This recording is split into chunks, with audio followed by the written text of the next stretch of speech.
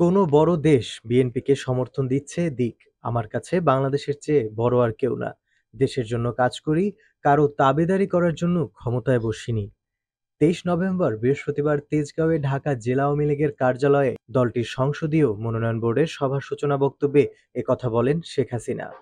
তিনি বলেন, বাংলাদেশকে ধ্বংস করার জন্য রাজনৈতিকভাবে না পারলেও এখন অর্থনৈতিকভাবে অপচেষ্টা করে যাচ্ছে বিদেশি কিছু কিছু মোড়ল।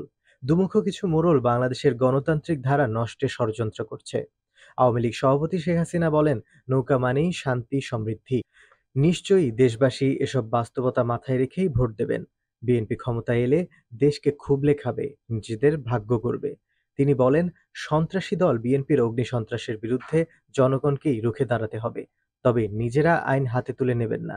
জনগণ ধরা শুরু করলে ওই মুষ্টিমেয়রা ঠাঁই পাবে না। নির্বাচনে অংশ নেবার মতো আস্থা, বিশ্বাস বিএনপির নেই মন্তব্য করে প্রধানমন্ত্রী বলেন, তারা কি একটাও নেতা দেশে পেল না, যাকে তাদের প্রধান বানাবে? শেখ হাসিনার সভাপতিত্ব মনোনয়ন বোর্ডের সভায় তিনশো সংসদীয় আসনে নৌকার প্রার্থী চূড়ান্ত করা হবে। প্রথম দিনের বৈঠকে খুলনা, রাজশাহী ও রংপুর বিভাগের মনোনয়ন চূড়ান্ত করা হবে।